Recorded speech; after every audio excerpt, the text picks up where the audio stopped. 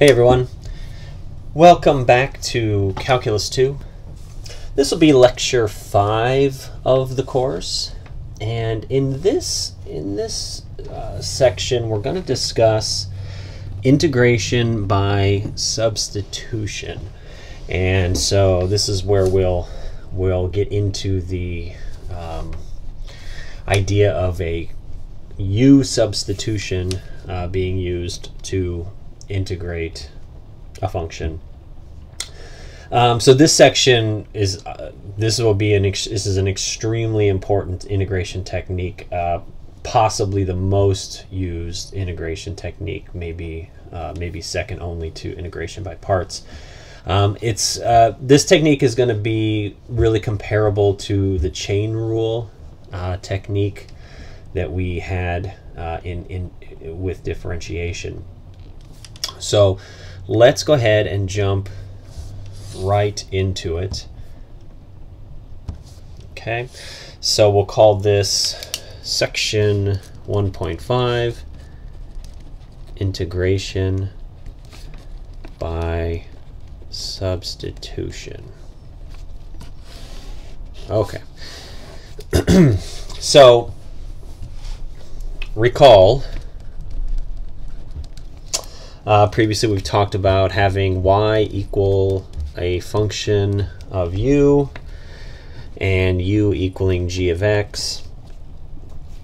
Given this, the derivative ddx of f of g of x uh, is equal to f prime of g of x times g prime of x. Okay, so this is the chain rule from uh, calculus 1.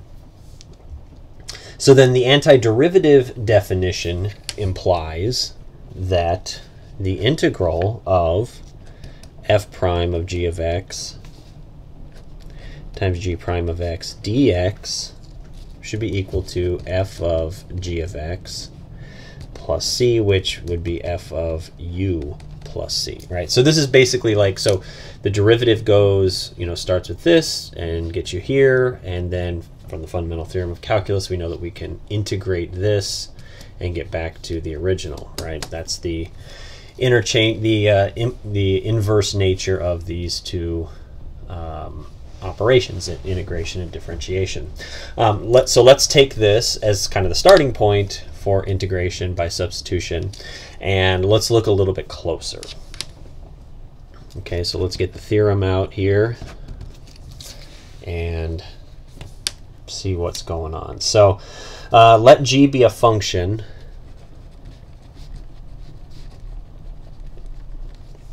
whose range is an interval i.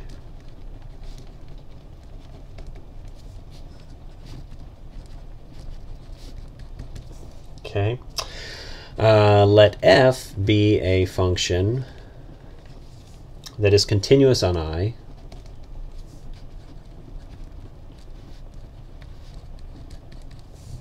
Okay. If uh, g is differentiable,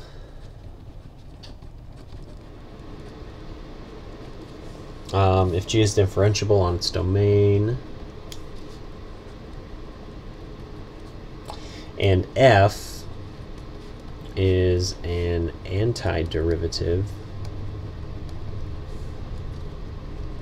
Big F is an antiderivative of little f on i. Then the integral of f of g of x times g prime of x dx is equal to big F of g of x plus c. Okay, so uh, you could also say if u equals g of x, then du equals g prime x dx, and the integral of f of u du is equal to f of u plus c. Okay, so kind of two ways to think about it. So this is sort of the explicit kind of like chain rule way of thinking about it, which is fine. we'll start with that, and then this is sort of a you know uh, explicit substitution kind of way of thinking about it. They're equivalent, right? But we'll um, we'll look into it in a second here. So the key here, well, one of the keys, may possibly the key, is to get serious about pattern recognition. so pattern recognition is really important with these U substitutions.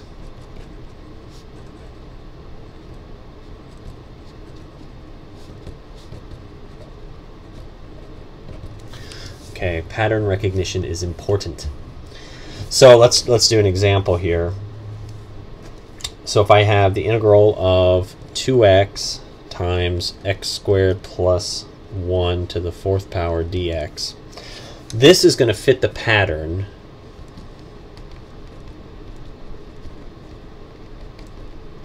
This fits the pattern of the integral of f of g of x, g prime of x dx. Okay, so namely, we would say f of g of x is equal to x squared plus 1. That's the x squared plus 1 to the fourth power part. Right, so then obviously the g of x here is the x squared plus 1. And the g prime of x is the 2x out front, right? Okay, so you got f of a function, f evaluated g of x, that whole thing, that, that composite function, times g prime of x. And so you can see all those pieces here. You got the f of g of x, the g of x naturally is inside the f of x, and the g prime of x is 2x. So here's your 2x, here's your f prime of g of x, or sorry, your f of g of x, and then this piece inside is your g of x, right? So this may seem like a lot of craziness, but we'll do some more examples and hopefully the pattern will start to the patterns will start to emerge. Here's another example of of this uh, pattern right? So what about the integral of 3x squared times the square root of x cubed plus 1 dx right? So that whole that whole deal. Well the f of g of x in this case is the x cubed plus 1 square root. So that means the g of x is what's inside there, the x cubed plus 1. And so then naturally the rest of it outside here you can see is the 3x squared, which is the derivative of g. Okay, so let's let's write this really explicitly. So you could you could reverse this and kind of write it like this instead. Right, so this is the f of g of x part. This is the g prime of x part. And then so you can see naturally that this piece here inside, that's the g of x part. Okay, so you can kind of see all the parts there. And that's that's probably the most important thing about um, this this kind of uh, this kind of problem, this this method, right? Is just being able to I spot this this pattern when when it's present. So another example, this one's slightly less obvious, I think. Secant squared x times tangent of x plus 3. So you got kind of these two pieces.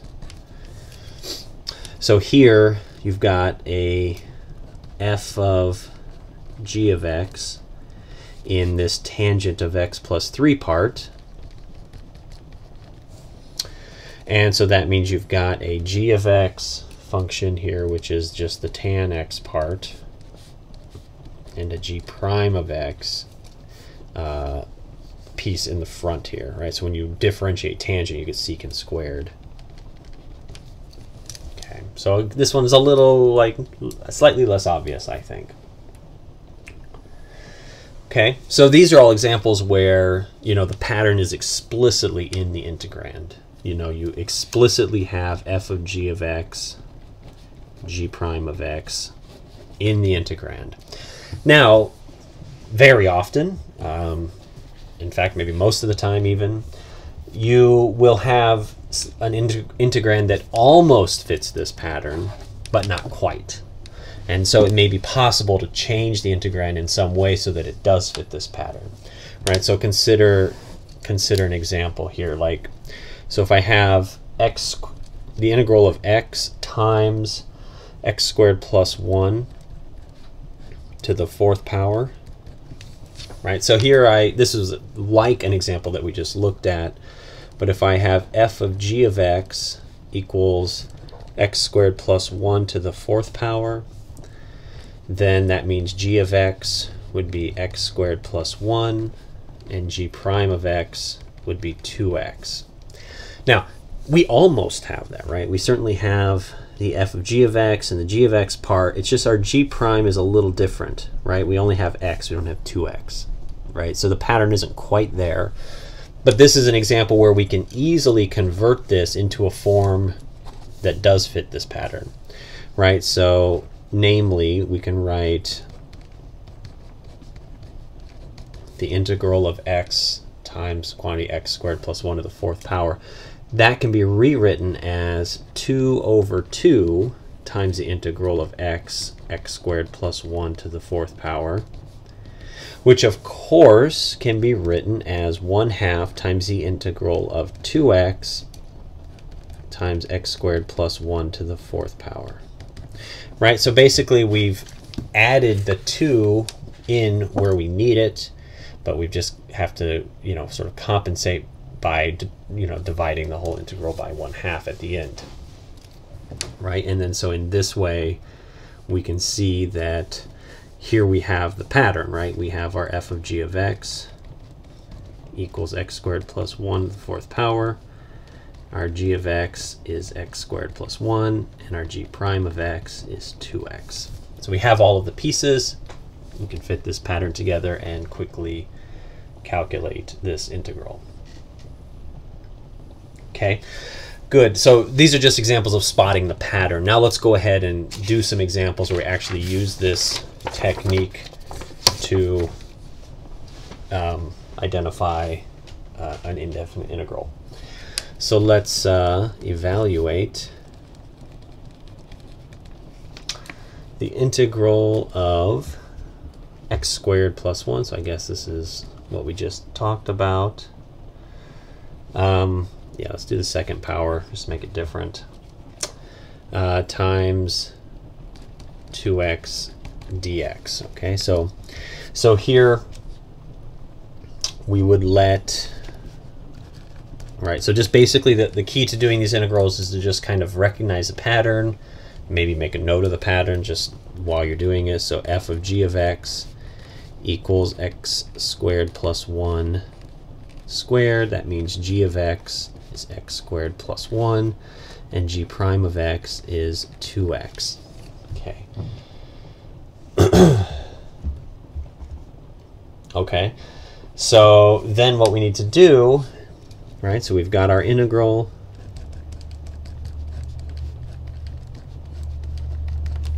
Now, what did the theorem say? Right. Well, the theorem said then that this should be equal to f of g of x plus c. Okay, so so what is our f of g of x? Well, that's just going to be the antiderivative of the f function, right? And so in, the, in, in this case, it would be equal to uh, 1 third x squared plus 1 to the third power plus c.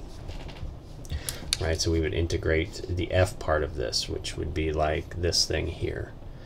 Right, so this would be like kind of that uh, power rule right? The it would be you'd raise the exponent, you'd raise this piece of it to the 2 plus 1 power and divide by 2 plus 1. Right, so that's all we've done. And so the integral is really easy to find um, using this technique. How about another example? Evaluate the integral of 5e to the 5x dx. So in this case, the gx, g of x is equal to 5x.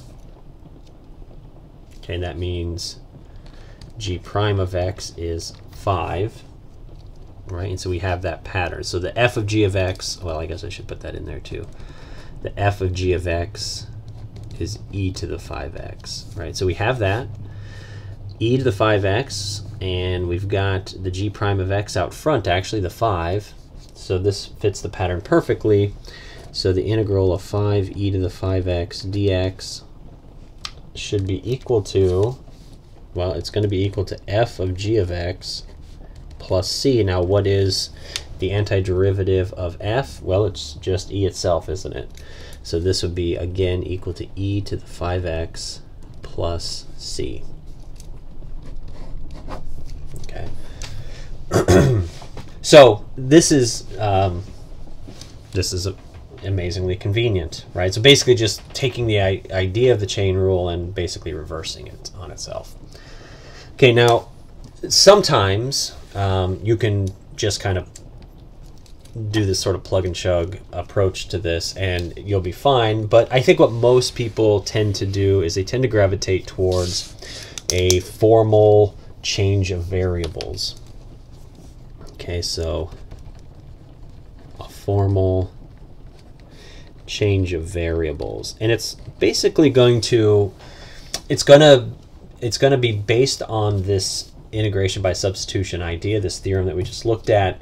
Um, but what we're going to want to, what we want to do with the formal change of variables is we want to completely rewrite the integral in terms of u and du.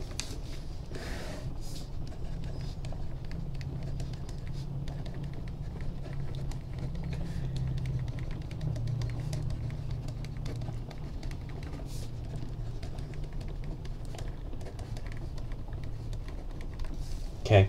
So this is usually advantageous because it, it just helps you to keep everything straight. It helps keep sort of the patterns, uh, the patterns kind of, kind of sort of fall out of the change variables, and it's um, it makes it harder to kind of miss something, right? As well as the fact that there are like niceties that can come along with the change of variables, which we'll get into in a moment. Let's talk this method through a little bit closer. Let's talk this through. What What is this all about? So letting u equal g of x, right? Then du, the derivative of u, is equal to g prime of x dx. So we have integral of f of g of x g prime of x dx is equal to the integral of f of u du, which is equal to f of u plus c. Okay, so this is sort of the formal setup, but let's let's so you can kind of see that this part here is captured by this du, right? So that's this piece here becomes that. And then f of g of x is just f of u. All right, so that's sort of notationally how these how this this change of variables works out. Let's let's let's do some examples, and I think the method will will come become pretty clear after a couple of examples. So let's evaluate the integral of 2x minus 1 square root dx. We're going to use change of variables on this explicitly. So we'll set u equal to 2x minus 1. Okay. So then du is equal to 2 dx, right? Just differentiating this, we get 2 times dx. Okay. So what that means then is that if I have the square root of 2x minus 1 dx, then what I have is the um, oh sorry. What I have is the integral of the square root of u and then I still have this dx and I can't substitute 2 dx in for dx. So what I can do is I can take this little equation here and see that du over 2 is equal to dx So the dx part of it, I just plug in du over 2. Okay, and this can look a little cumbersome at first, um, but uh, I think you know after you mess with it a few times, you kind of recognize, okay, this is really just 1 half times du. So let me write that explicitly. So this is the square root of u times 1 half times du.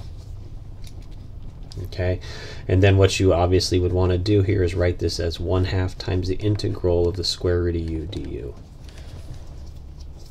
Okay, so important to notice here, all I've done is I started with this function here, sorry, this integral here with this integrand, and instead of the square root of 2x minus 1, I plug in the square root of u, right? And that's just because I've chosen 2x minus 1 as my g of x, and so u equals 2x minus 1.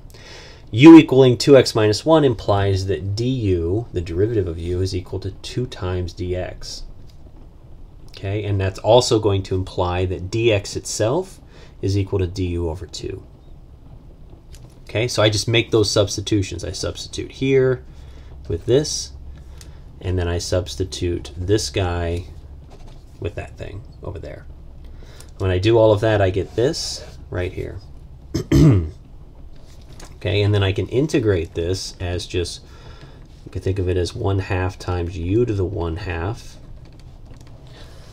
Okay, and then that is just what? It's 1 half, and then it's u to the 3 halves divided by 3 halves plus c, which is 1 half times 2 thirds u to the 3 halves, which is one third u to the 3 halves.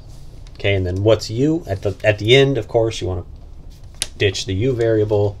Sorry, these are all plus c, got to hang on to that at the end you want to ditch the the u variable and go back to your original variable using this up here. So this would be one third 2x minus 1 to the 3 halves power plus whatever your constant of integration happens to be. Okay, so I know that that seems like what in the world, but it's all really quite simple actually. You pick a u right? And the u should correspond to basically the g of x from the previous method, from the chain rule, right? So it's going to be the inner part of the integrand usually. So u equals 2x minus 1. From that, you differentiate, and you get du equals whatever u prime is, in this case 2, times dx.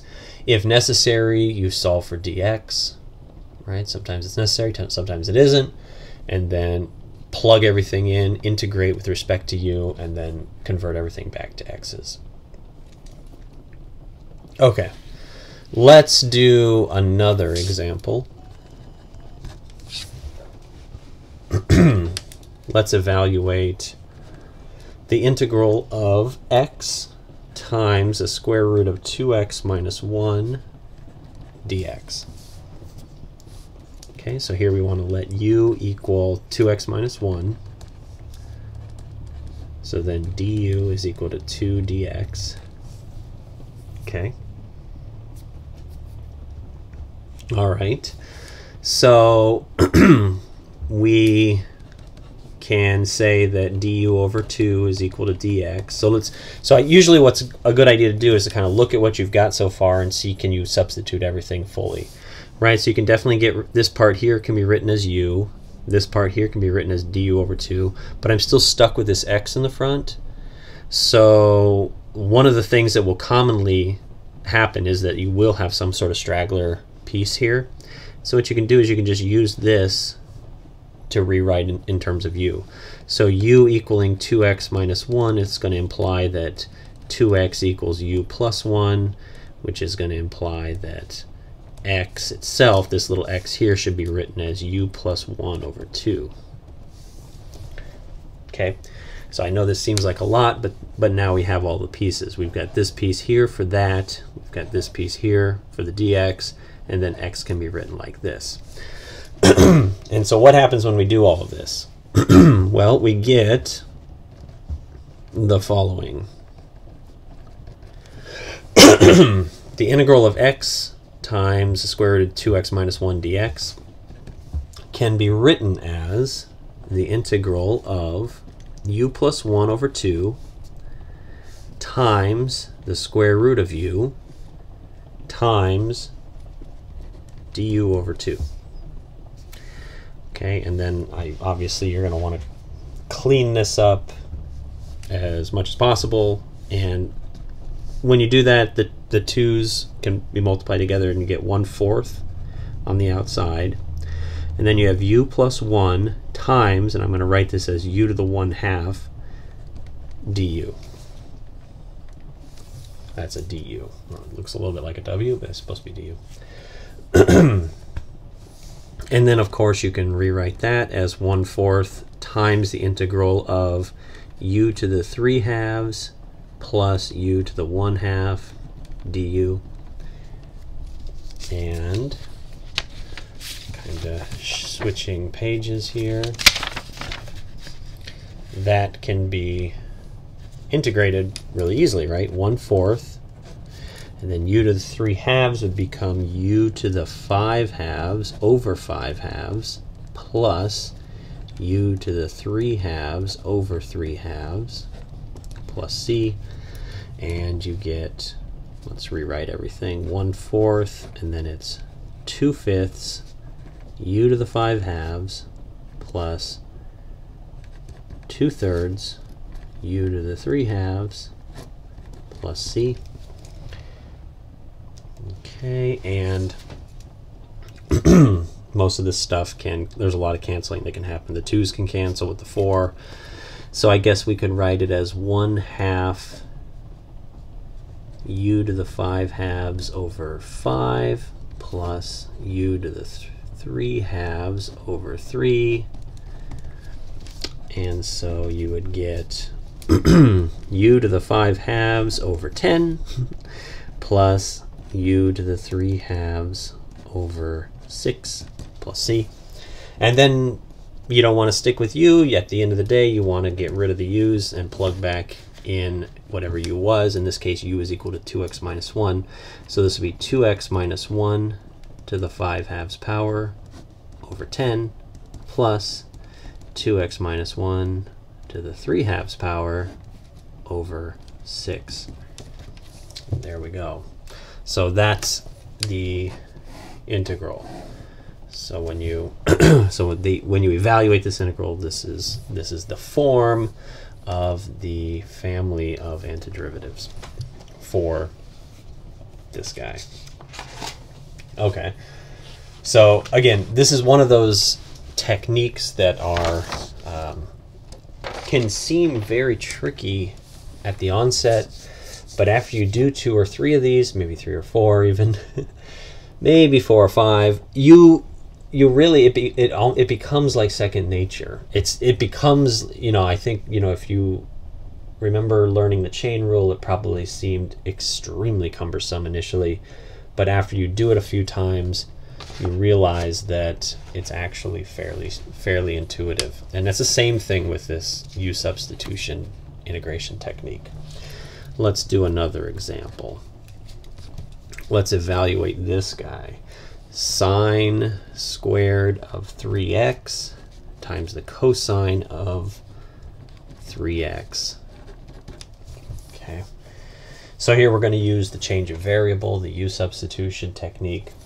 So let's let u equal sine of 3x. Now notice this is sine of 3x squared, right? Sine squared 3x. So this is like the inside function of a u squared.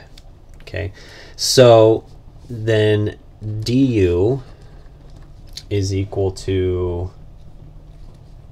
the derivative of sine of 3x. Now you got to use the chain rule on this, and so you would get cosine of 3x times 3. So I'm just going to write it as 3 cos 3x dx. Okay.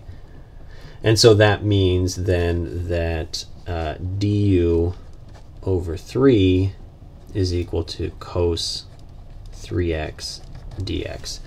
Right, so just kind of looking up here, you see, okay, I've got this piece taken care of with this u, so this will just be u squared. And then this whole thing here is going to be du over 3.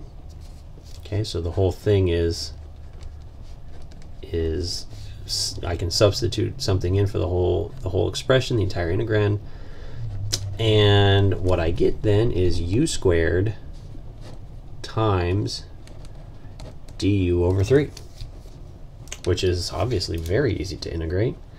1 third times the integral of u squared du. So that's 1 third times u cubed over 3 so I get 1 ninth u cubed. And then my u just jump, I just toss my u back in and we're good. So this would be 1 ninth, and then it's the u is sine of 3x. And so now it's cubed. Okay, so probably better written as 1 ninth sine cubed 3x plus c.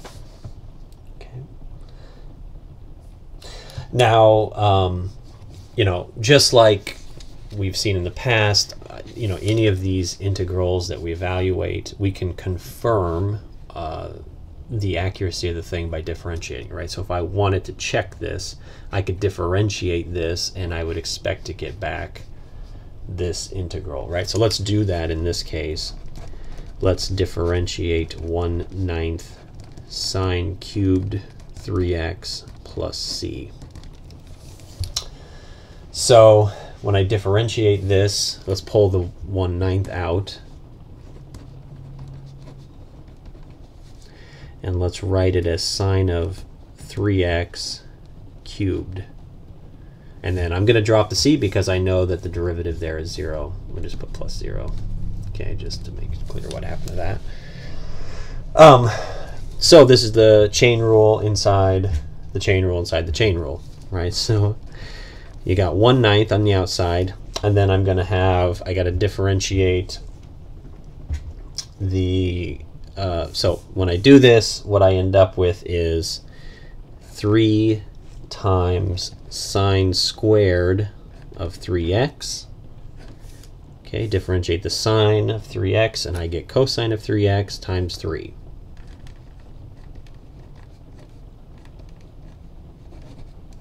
Okay, now does this all sort of sort out?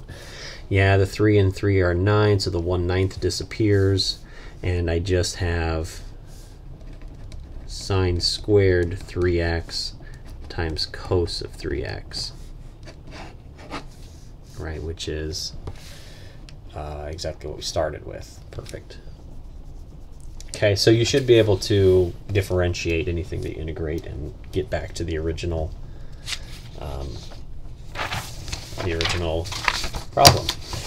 Okay, so done a bunch of examples. Let's talk through. Um, let's let's let's uh, kind of offer up some guidelines for change of variables. So guidelines guidelines are nice, right? So th this can be a little bit tricky. So when you're doing a, a change of variable integration, what you want to start with is by you want to start by choosing a u. So you know, choose a u equals g of x. You know, and it's this is usually the inner part.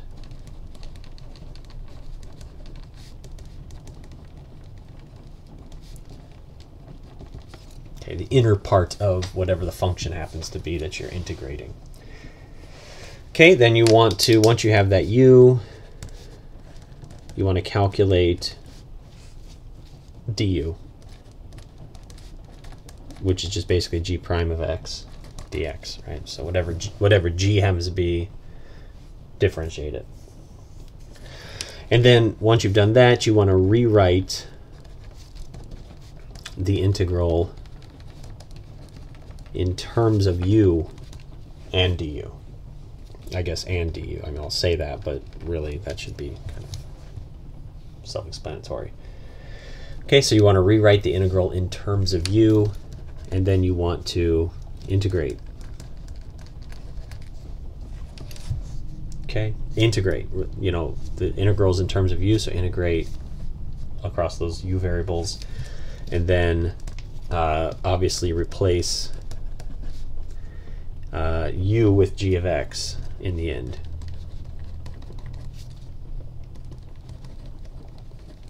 Okay.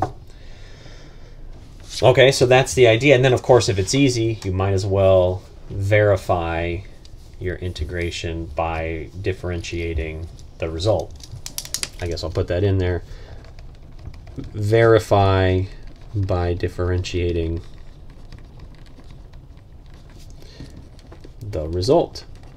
Right? That's kind of like your elementary school teacher telling you to you can always check multiplication by division or vice versa or addition by subtraction. It's basically the same idea, right? So it makes sense to do that, especially if it, the derivative is easy to calculate. If it isn't, then maybe you can hold off.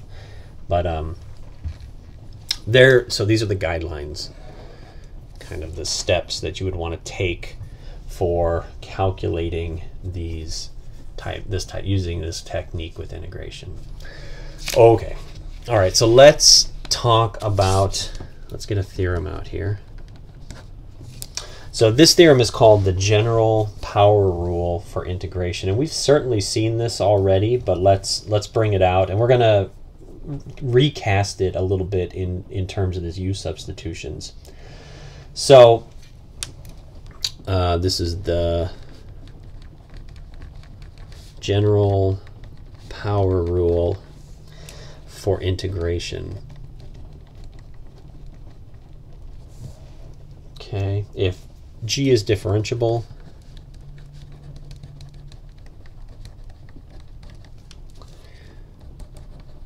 then the integral of g of x to the nth power times g prime of x dx is equal to g to the x n plus 1 over n plus 1 plus c.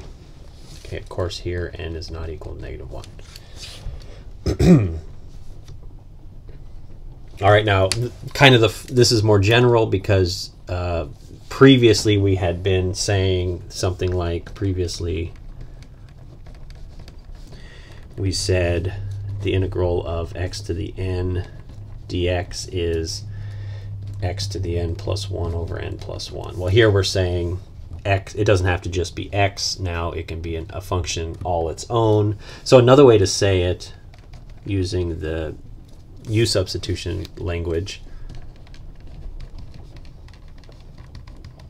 is to say that the integral of u to the n du is equal to u to the n plus 1 over n plus 1 plus c, where u is equal to g of x.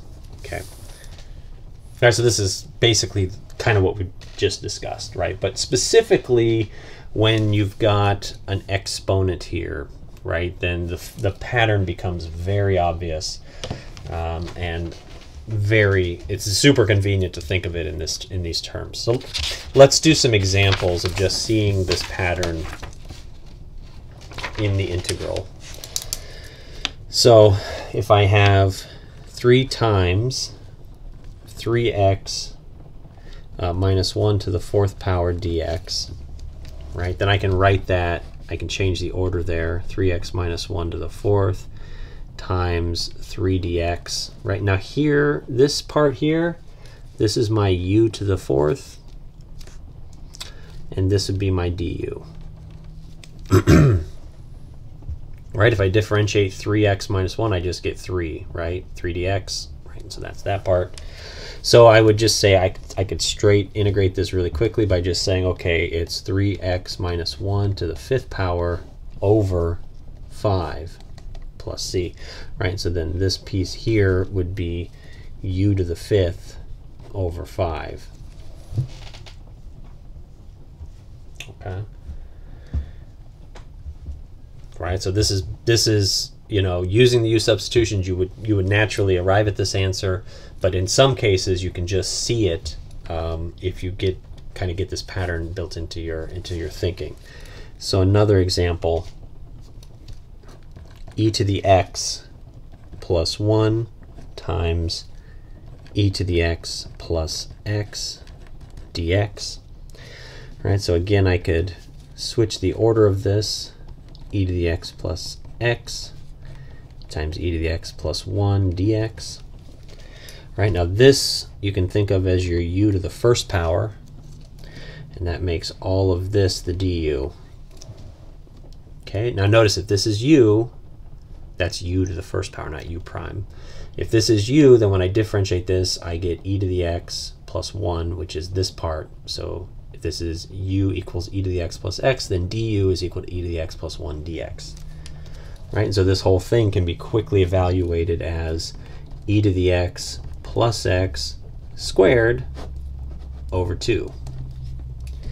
Right, so then this would just be u squared over 2. Right, if I have a u to the first, then uh, the integral would give me u squared over 2. so hopefully the pattern is beginning to emerge here. Another example, how about the square root of, excuse me, the square root of x cubed minus 2 times 3x squared dx. Okay, so something like this. So this here would be like u to the 1 half. Um, so then the derivative of x, the if u is x cubed minus 2, then the derivative of that is 3x squared dx. And so this would be your du part.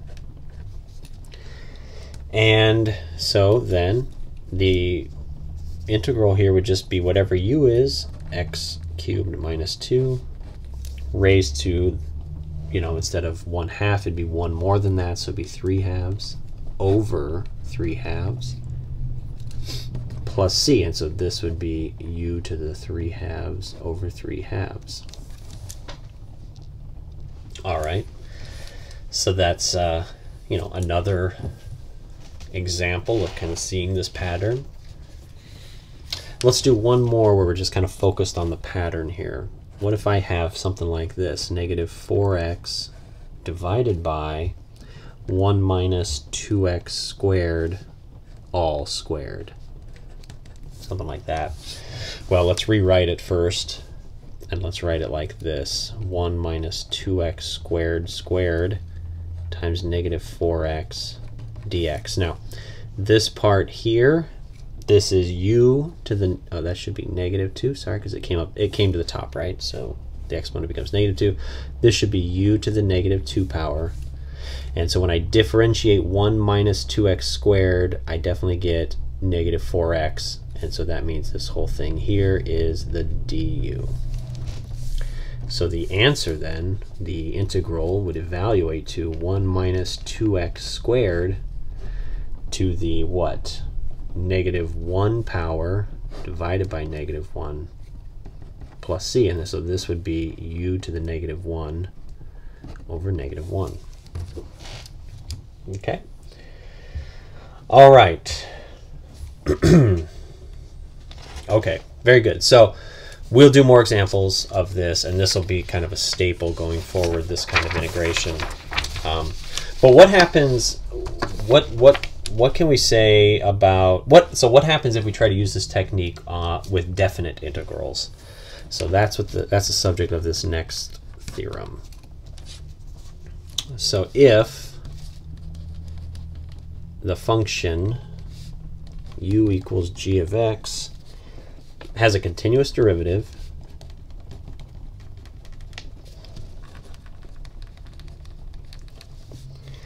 on the interval a to b and f is continuous on the range of g Then, so now we're talking a definite integral from a to b of f of g of x, g prime of x dx, right? So this is the same integral that we talked about before, except now it's a definite integral. Then it's going to be equal to the integral from of f of u du, where we evaluate the limits of integration inside the g function. So this is a little weird um, at first, but what this basically shows you is that you can you can directly um, evaluate the u function in a definite integral, right? You can do it directly, but only after. But obviously, in order to do that, you have to adjust the limits of integration. Okay, so right, so it, it's uh, let's do an example. So the idea would be you can figure out you can you can calculate what the integral of f of u du is, and then just like before, whatever that antiderivative big F is, you can evaluate the top and the bottom directly, right? But in order to do that, you have to first adjust the bounds of the integration using the g function. Okay, so let, let's do an example here this is a little cumbersome at first, but I think when you once you see it, you it's very obvious why this would be the case. So let's evaluate um, 0 to 1 of x times x squared plus 1 to the third power dx, right? So we're going to use substitution here, u substitution. So let u equal x squared plus 1. Okay. Then du is equal to 2x dx. And so that means, you know, kind of looking up here, I've got an x dx. So that would mean that x dx is equal to du over 2. Okay, so th these three here, so basically this part here and this part here is enough to get the substitution 100%. Okay, and so but what we want to do here, what we want to pay special attention to is what to do with these bounds. So 0 to 1, we can't evaluate u at 0 and 1, but we can evaluate u, we just have to change these. So the lower limit, okay, if x is equal to 0, right, that's what the lower limit is, then u would be equal to 0 squared plus 1. So you basically want to plug in the lower limit into this, whatever your u function happens to be. Okay, so this lower limit would switch to 1. The upper limit, x is equal to 1, then u would be equal to 1 squared plus 1. Right, so again, just whatever the u function happens to be, just plug that upper limit in there and see what you get, and you get 2. Okay, so we can rewrite the integral now. 0 to 1 of x squared plus 1 cubed times x dx. Right, just kind of switch the order there. Okay, so you switch the order, and then I've got a u. Um, so the u is x squared plus 1, so I get u cubed. And then x dx is du over 2 and then my lower bound was 0, now it's 1. My upper bound was 1, now it's 2. There we go. Right, and so now I can just take off and go right to the finish line here. And I get 1 half, and then u cubed du, the integral there would be u to the fourth over 4. And then we're going to evaluate from 1 up to 2. So I get 1 eighth, and then it would be 2 to the fourth minus 1 to the fourth. So 1 eighth and 2 times 2 is 4, 2 times 8. So it's 16 minus 1, and so I get what? 15 over 8. Okay.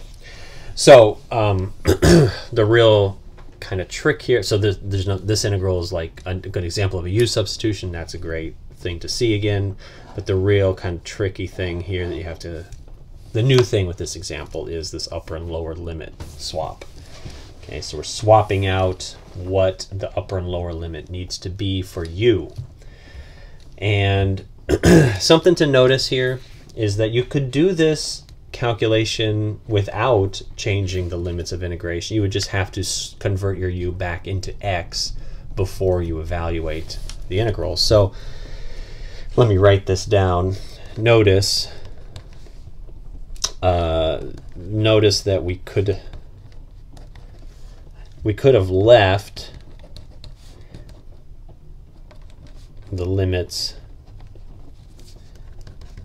of integration alone comma but that but that would require us to evaluate them differently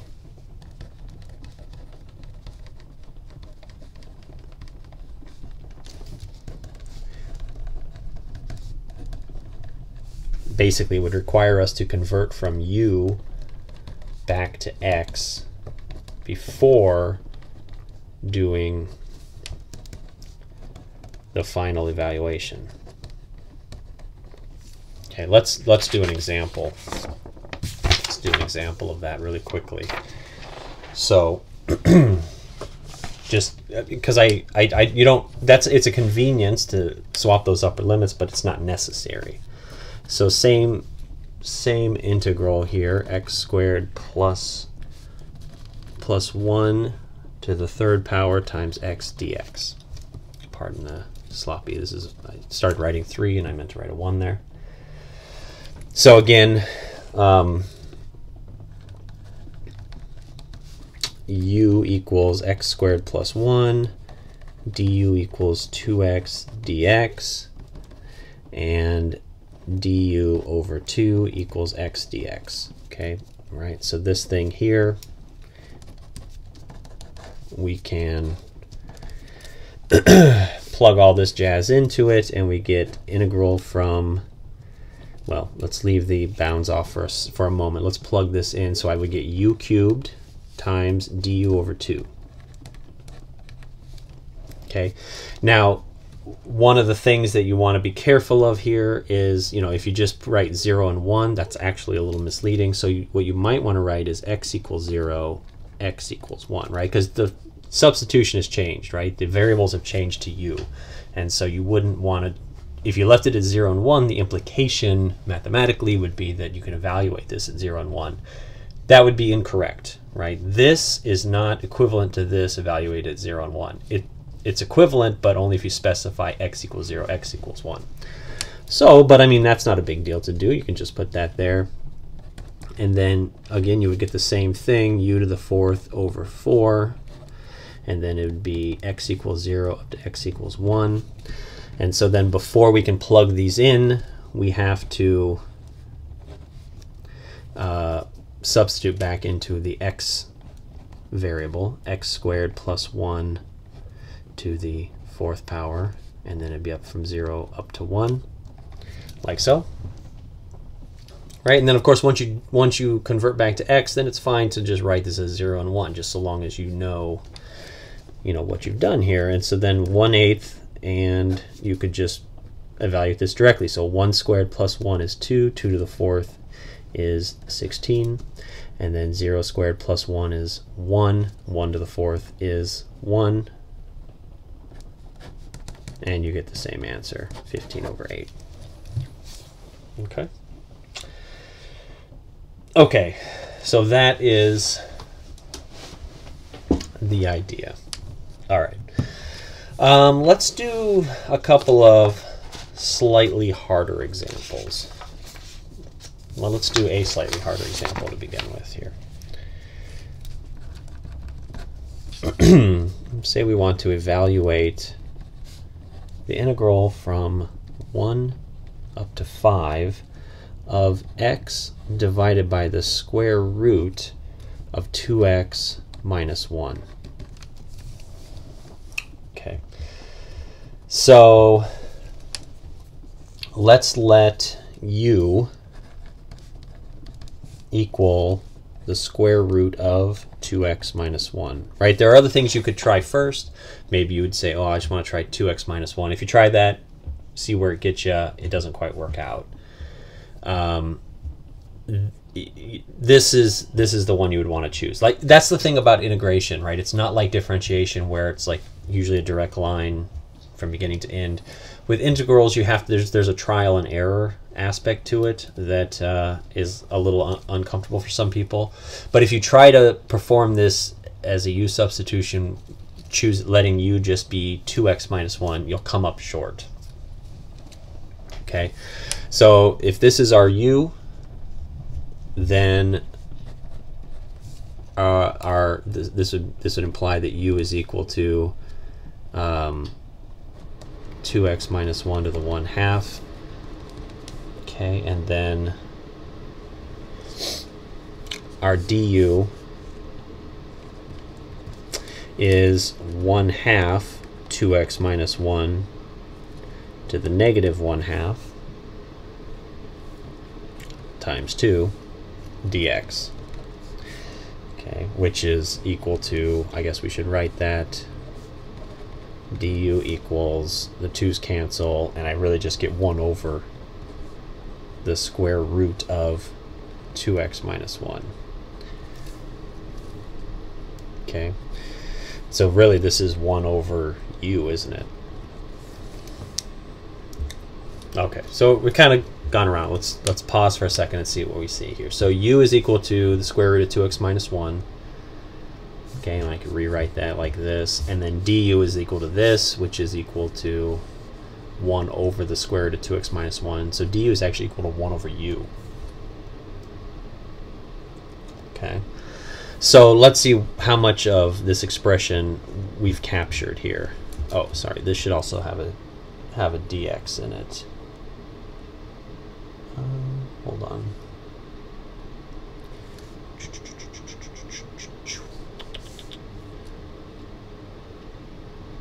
Oh, yeah, sorry.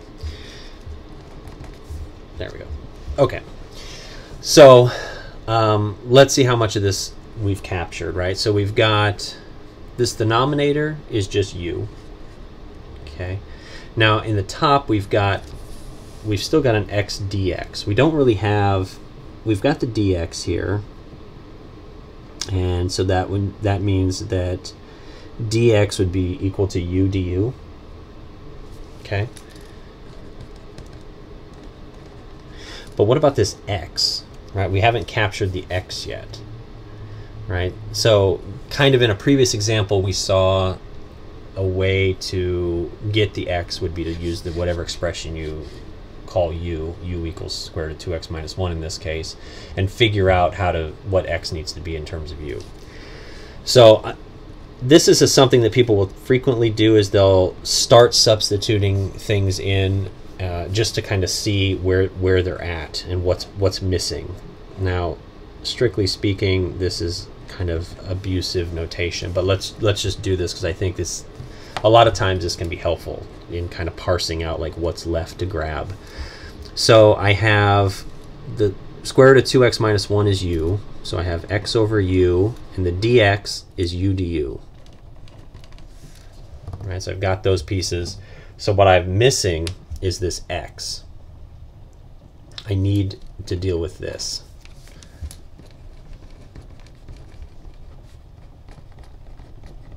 Okay, so what I can do is I can come back up here to this. So if u is equal to the square root of 2x minus 1, then I can square both sides, right? And I get u squared equals 2x minus 1. And so that is going to give me an expression in u for x. So that means 2x is u squared. That means 2x is u squared plus 1, and x is u squared plus 1 over 2. Okay, and so then this can be tossed in for x. And so altogether, just kind of bringing this down here, I would have 1 to 5, and I would have u down below, right? Just using the substitution here. And we know that dx is u du. So I've got that piece there. And then the x, I just found an expression for that is u squared plus 1 over 2. Now this is ugly, right? This looks awful. But the nice thing about it is that it actually cleans up a lot. It simplifies a lot, doesn't it? The u's cancel.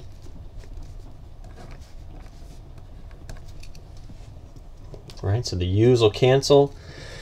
And I've got the 1 half. Basically, I've just got this upper piece here, don't I? I've got u squared plus 1 over 2 du. The u's cancel out, right? And then that basically makes the, the fraction really simple. Okay. And so we have to be careful here. This is x equals 5, x equals 1, because right, we haven't actually adjusted those yet. Let's do that adjustment. So the uh, lower x equals 1, then u equals would be the square root of 2 times 1 minus 1 which is the square root of uh, square root of 1, which is just 1, yeah, of course. Okay, so there's the lower, and then the upper, x equals 5, so u equals 2 times 5 minus 1 square root, which equals the square root of 9, which is 3. Okay, so that means we can change this to 1 to 3 of u squared plus 1 over 2 du. Now, this is very easy to, to uh, evaluate. We can get to this really quickly. You can pull the 1 half out and do it like this. This is probably the way to go. And so you get 1 half, and then this would be u cubed over 3 plus u, and it's 1 up to 3. So we can plug all of this in. And we get 3 times 3 is 9, times 3 is 27 over 3. So 27 over 3 plus 3 minus 1 third plus 1. Okay. And that's a third times 9 plus 3 minus 1 third minus 1. And when you do all of that, you get 16 over 3. Okay, so you can get to the end of this integral pretty quickly. Okay, now I just want to really quickly, um, well, actually, let's let's go ahead and stop the video. We'll have a part B for this video as well, simply because we're at an hour now, and I don't want the videos to be too much over an hour. So we'll uh, we'll be right back with uh, we'll be right back with part B, and we'll recap this problem and look at a, a few more items really quickly from this section.